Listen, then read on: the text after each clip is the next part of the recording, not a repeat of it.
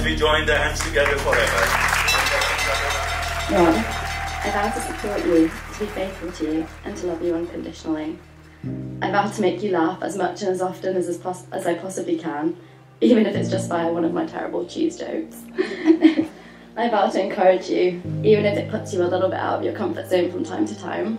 I vow to be by your side, by all the highs and uh, through all the highs and the lows that life can bring, and to be the person that you can rely on for even the smallest of things.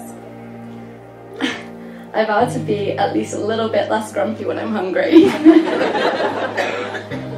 and to be a little less strict with how often I hoover.